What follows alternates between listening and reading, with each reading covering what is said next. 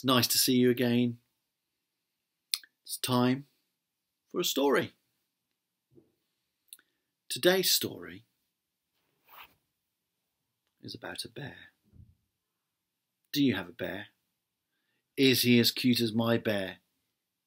I don't think so. My bear is the cutest. If you get time, show me how cute your bears are. He won't beat mine. Back to the story.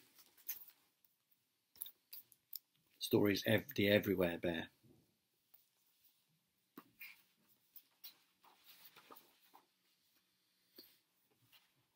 With her blue pointy shoes and her hair in a bun, Mrs. McAllister teaches class one.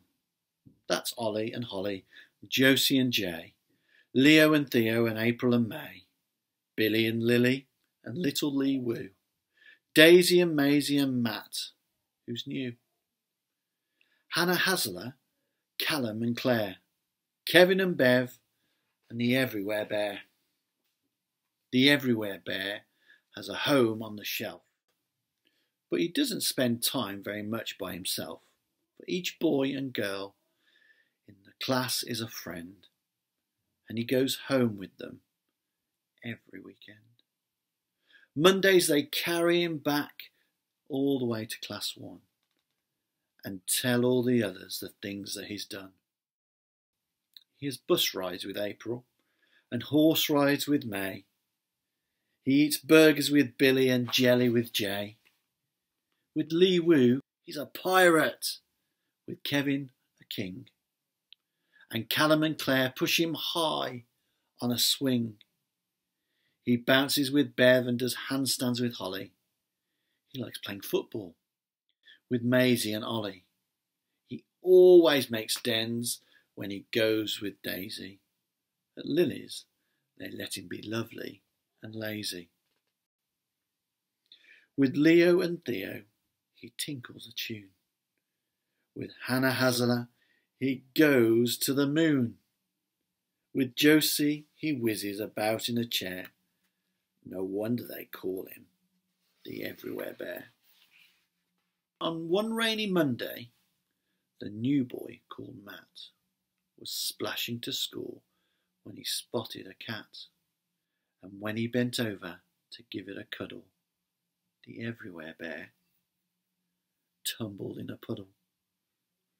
Just round the corner, a driver called Pete sat in the van painting stripes on the street. Matt got to school and sat down on his chair.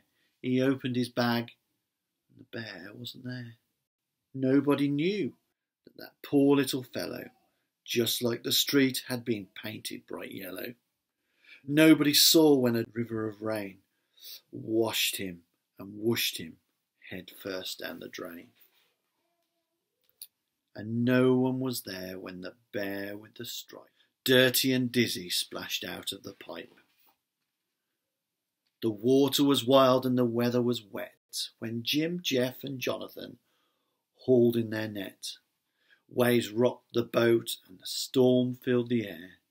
None of them noticed the Everywhere Bear.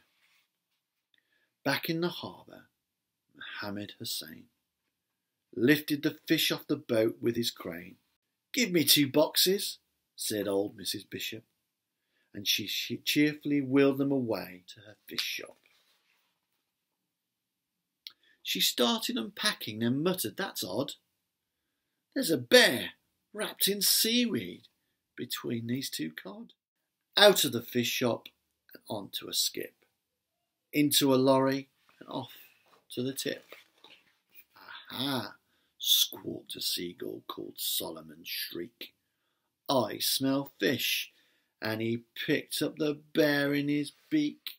They flew over treetops and over the town, and the bear saw his school when he dared to look down. Then Solomon perched on the roof of a shop. This isn't fish, and he let the bear drop. Then a very kind lady called Bethany Burke picked up the bear on her way into work. Each Friday morning, Class 1 pays a visit to one of their favourite places. Where is it? The library. Jay finds a book about stars. Josie finds one about buses and cars. Billy likes aliens, and Lily likes lizards.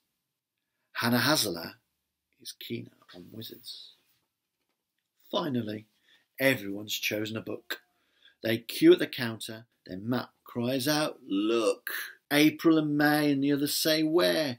Behind you! He's there! It's the Everywhere Bear. Then they carry him happily home to Class 1, saying, Where have you been, Bear?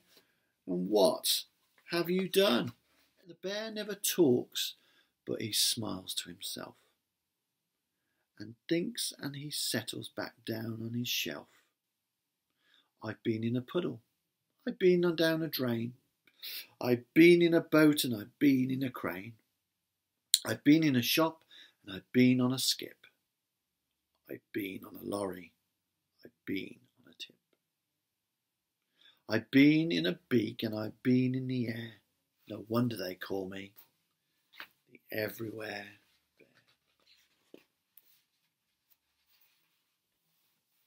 That's our story today. Hope you enjoyed it.